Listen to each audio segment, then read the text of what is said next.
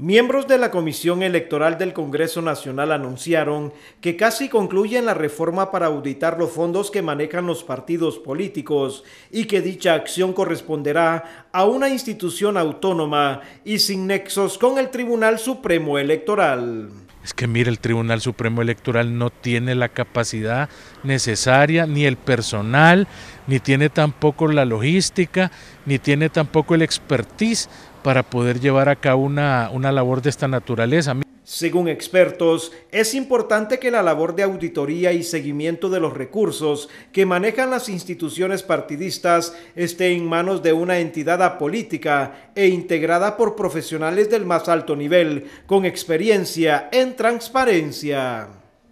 sí hace un poco de ruido el hecho de que el tribunal no sea directamente el involucrado, pero sabemos que el tribunal de una u otra manera, la presencia de los partidos políticos contaminan su quehacer. El problema lo veo en el Tribunal Supremo Electoral,